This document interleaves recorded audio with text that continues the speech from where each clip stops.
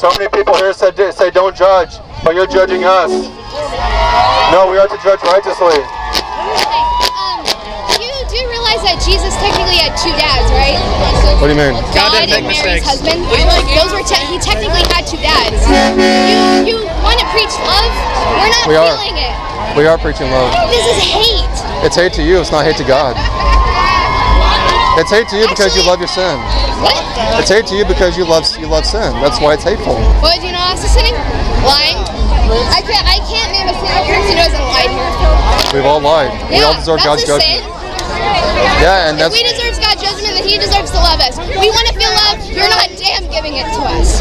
and are you loving me right now? Huh? I'm not feeling your love right now. I'm feeling yours. What? I ain't feeling yours. Well, I mean, I don't. You I want no, you want God's judgment? Then you'll get your ass ma'am, you need to repent. You're not loving me at all.